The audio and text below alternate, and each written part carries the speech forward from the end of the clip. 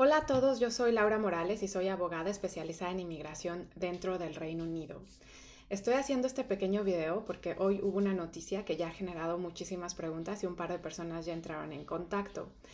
Em, el gobierno actual que tenemos está comprometido a bajar la inmigración neta y en una política publicada en una declaración escrita ministerial hoy, confirmaron que va a haber cambios importantes a las visas de estudiante a partir del 2024, de enero del 2024, para todos los estudiantes de maestrías que estén comenzando cursos en enero del próximo año. Eh, el gobierno confirmó que esta, em, este cambio a la política es porque ha habido un aumento inesperado en dependientes que vienen con estudiantes de maestría al Reino Unido eh, publicaron la cifra de que en el 2019 16 mil dependientes vinieron entre hijos y cónyuges y en el 2022 136 mil dependientes. Entonces, en un par de años, más de 100 mil eh, dependientes fue la diferencia. Y el gobierno está comprometido con bajar la inmigración neta. Entonces, estos números no le gustaron.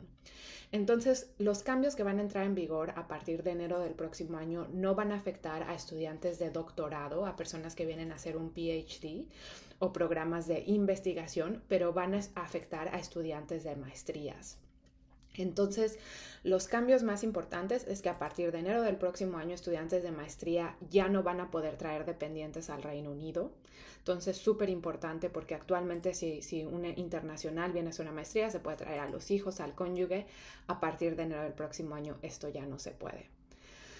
Eh, otra, em, otro cambio súper importante es que no se va a poder cambiar de la visa de estudio a la visa de trabajo antes de terminar tu curso eh, de maestría. Y esto dijeron que es para prevenir que se use eh, incorrectamente la visa de estudio, porque muchos estudiantes vienen, están aquí por un par de meses con su visa de estudio, encuentran un trabajo y se cambian al Skill Worker Visa para obviamente poder trabajar tiempo completo, tener eh, acceso a ganancias, a tiempo completo de trabajo, porque con la visa de estudio solo puedes trabajar 20 horas. Entonces el gobierno confirmó que estudiantes que comiencen a partir de enero del próximo año no van a poder cambiarse al Skill Worker Visa hasta que terminen su curso universitario.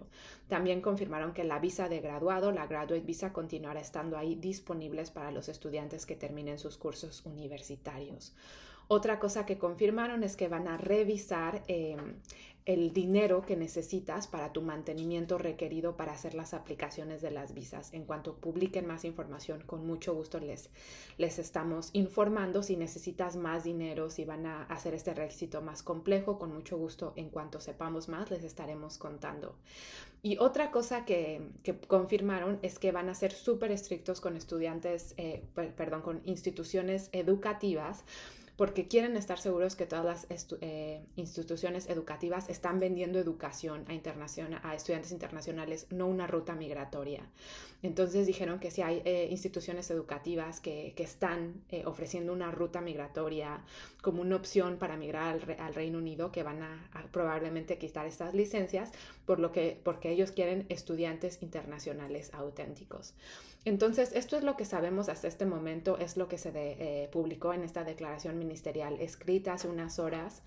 Eh, síganos en redes sociales y en cuanto sepamos más información, con mucho gusto la estaremos publicando, pero ojo, estos cambios entran en vigor a partir de enero del 2024 entonces no afectarán a estudiantes de maestría que comiencen este año y en la declaración pusieron que es para, para eh, darles a los estudiantes de maestría tiempo suficiente para prepararse para estos cambios.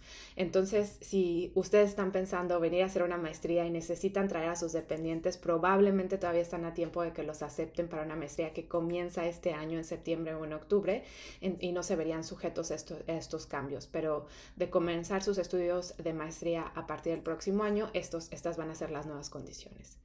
Eh, bueno, un saludo y en cuanto tengamos más información, con mucho gusto les hacemos un video nuevo. Chao, chao.